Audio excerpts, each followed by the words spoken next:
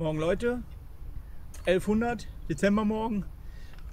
Und wir wollen euch nochmal ein Ghost-Modell vorstellen. Es gibt ja relativ viele mittlere, kleinere Modelle und hier haben wir einfach mal die längste. Das ist die Ghost oder Evolution Ghost EMRL. Hat halt hier den ganz langen M-Lock. Die Waffe ist aus Polymerkunststoff gefertigt, wie die ganzen Ghost-Modelle. Allerdings sehr hochwertig. Das Ganze sieht vor allen Dingen hier mit diesem, ich sag mal, ange angedeuteten Hex-Cut, das haben wir ja schon mal in einem anderen Video gezeigt, wirklich sehr cool aus. Der komplette Handguard ist aus Metall, Flashhider ist aus Metall. Dann haben wir hier oben eine durchgehende Rail in Metall. Und das Magazin ist Polymer und besonders hier Midcap 140 Schuss. Wir haben einen nur vom Schützen bedienbaren Feuerwallhebel, der aus Metall ist. Und wir haben hier unten den, äh, die ganze Abzugseinheit hier aus Metall. Das 551 ist natürlich nicht dabei. So, dann haben wir hier des Weiteren vorne zwei Flipcharts. Äh, ein Flipchart und auch hier hinten, den man hier hochstellen kann. Der lässt sich hier in der Visierung noch auf kleines Ziel und großes Ziel verstellen. Dann ist der ansonsten hier auch in der, ähm, in der horizontalen verstellbar, nach links oder rechts.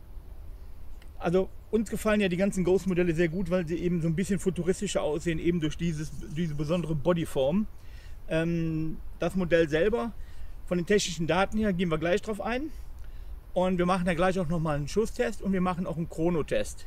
So, dann würde ich sagen, dann gehen wir jetzt mal zu den technischen Daten. So, dann kommen wir zu den technischen Daten. Wie schon gesagt, die Waffe ist ein Mix aus Polymer und Metall. Metall Flashhider, Metall Outer Barrel mit Messing Inner Barrel. Wir haben einen 6,01 mm Präzisionslauf drin. Wir haben hier ein M-Lock-System. Wir haben ein Polymer Body, eine durchgehende Rail. Dann haben wir ein Polymer-Magazin 140 Schuss. Der Stock fehlt jetzt, hat jetzt seinen Grund. Ich mache jetzt hier gleich mal einen Trockenschusstest. Keine BBs im Magazin. Die Waffe ist mit Stock eingeschoben 696 mm. Im voll ausgezogenen Zustand ist sie 778 mm, also schon recht lang.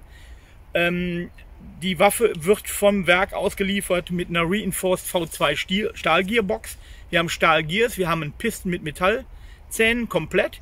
Wir haben einen ventilierten Polymer-Kunststoffpisten Head und wir haben einen Metallzylinder mit einem Kunststoffpisten Head. Besondere an der Ghost ist ja, dass die jetzt mit ETU geliefert werden. Diese ETU hat ähm, im Prinzip den Trigger Response kontrolliert. Sie hat eine Cycle Control. Das heißt, dass im Prinzip die Gears immer wieder eine volle Drehung machen und wieder an der gleichen Stelle zum Stand kommen. Also alles das, was er von der ETU erwartet. Dann haben wir hier auch noch einen Lipo-Safe. Das heißt, die Waffe schaltet ab, wenn der Lipo zu wenig Saft hat. Ich habe jetzt hier hinten deshalb den Stock ab um euch mal ein Ansprechverhalten zu zeigen. Wir haben jetzt hier einen 7,4er drin. Ich habe jetzt hier mal so einen Fuel-Akku, die kann ich übrigens euch nur wärmstens empfehlen. Die haben zwar ein bisschen weniger Temperaturempfindlichkeit, 15C, aber die sind extrem klein. Und wir haben ja viele Modelle heute mit kleinen Stocks. Das ist ein 1200er, der ist sehr klein. So, jetzt mal Ansprechverhalten 7,4.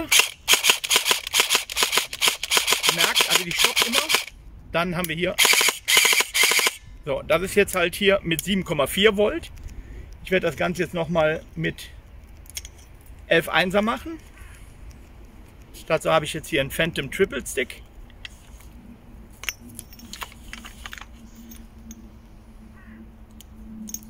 Der im Übrigen hier hinten nicht wirklich reinpasst. Na, oder? Ja, man, doch, man würde ihn wahrscheinlich hier reinbekommen. Das ist jetzt ein 11 Einser.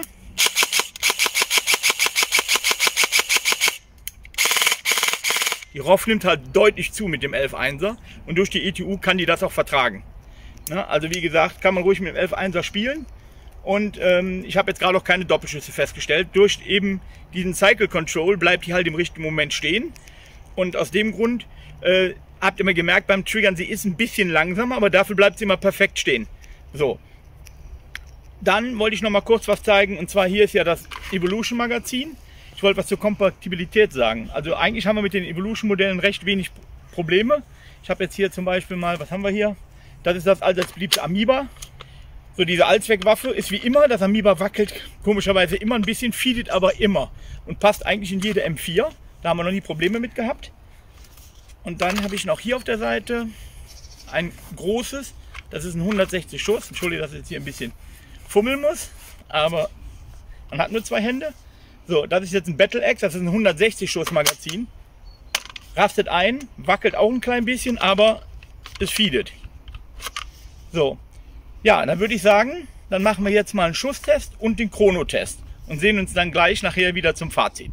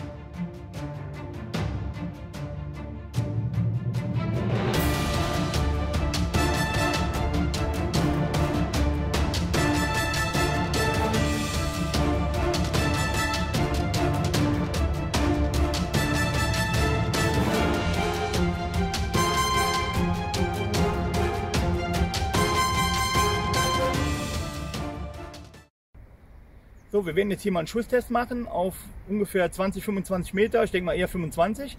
Ich habe den 11.1 jetzt mal drin gelassen vom Ansprechverhalten. Und heute, ne, da ja oft viele Leute meckern, ich probiere das jetzt einfach mal. Wir haben jetzt heute vom Wetter her eigentlich was, so ein Beschlagwetter. Ich probiere es jetzt trotzdem nochmal mit der Schutzbrille.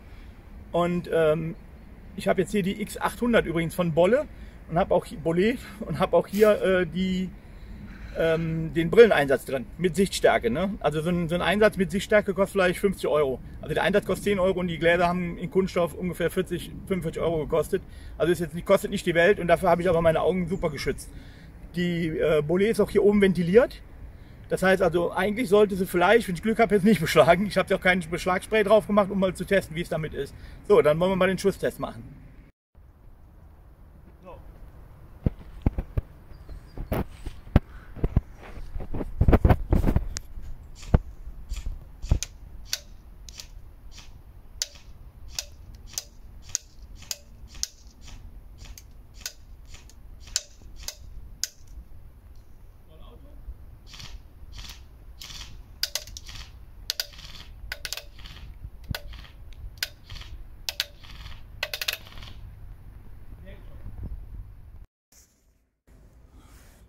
So, dann wollen wir mal unseren neuen Chrono ausprobieren. Ihr seht, das ist der Specna Arms Chrono Bluetooth mit dem Display oder der App auf dem Handy.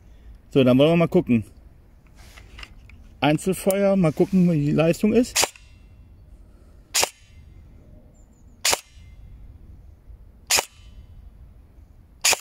Null das ist ein bisschen wenig. Da muss man, glaube ich, nochmal eine andere Feder setzen.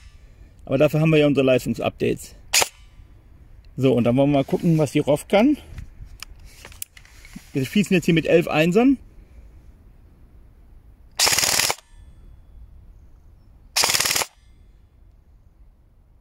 So, und dann würde ich sagen, zurück zum Fazit. So, zum Fazit der Ghost, wie alle Ghost-Modelle. Ihr habt gesehen, ich habe die jetzt mit 0,37 so um den Dreh gekront. Ähm, das wäre zum Beispiel so ein Modell, wo wir jetzt generell ein Leistungsupdate zu machen würden, wo wir einfach sagen, äh, da würden wir jetzt eine andere Feder einbauen, vielleicht ein anderes Hop-Up einbauen, sodass die einfach von der Präzision, von der Reichweite und so besser ist. Ansonsten würde ich sagen, ist es einfach für den Preis-Leistungsverhältnis hier ein super Modell und wir sind sehr zufrieden mit den Waffen und die kommen auch sehr gut beim Kunden an und alle Kunden sind damit bis jetzt sehr zufrieden. Deswegen würde ich sagen, äh, das kann man auf jeden Fall jedem ähm, empfehlen. So, und in dem Sinne würde ich sagen, noch einen schönen Adventstag.